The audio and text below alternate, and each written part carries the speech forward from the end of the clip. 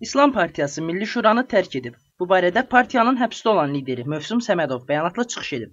Mövsüm Səmədov Milli Şura ətrafında müxtəlif qurumların birləşməsinin və vahid namizədlə təmsil olunmasının sevindirici hal olduğunu bildirsə də, Milli Şurada üzv olmalarının lazım olmadığını bildirib.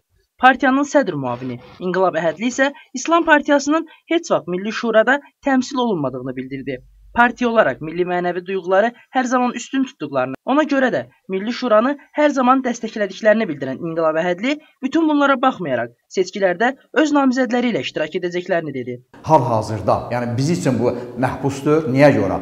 Bundan bilinir ki, əgər Azərbaycan İslam Partiyasının sədri Azim Məsud, doktor Azim Məsud Səmədovun nəinki İslam Partiyası, bütün xalq, 160 min xalq, əgər Hazım Məsud Səmədova müraciət edirsə ki, məhbus ola-ola ki, biz sizin namizədliyinizi irəli sürmək icazəsini bizə verəsiniz. Burdan artıq belə bir anlam, belə bir anlayış ortalığa çıxır ki, artıq 160 min xalqla bərabər məxsusən də Azərbaycan İslam Partiyasının funksionerləri, yəni onun davamçıları bu gün Ərazim Məsum Səmədovun həbsin həbs kimi qəbul etmir. İslam Partiyasının bəyanatından Milli Şuranın da mövqeyini öyrəndik.